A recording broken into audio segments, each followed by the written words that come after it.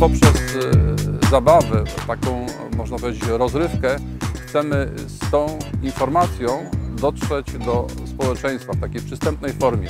Właśnie piknik, na który zaproszone są całe rodziny wielopokoleniowe, od e, dziadków poprzez rodziców z dziećmi, e, gdzie mają możliwość zobaczenia na miejscu tych technologii prezentowanych przez, przez firmy, przez e, naukowców, przez koła naukowe, a przy okazji Y, no, możliwość spotkania się i wspólnej zabawy.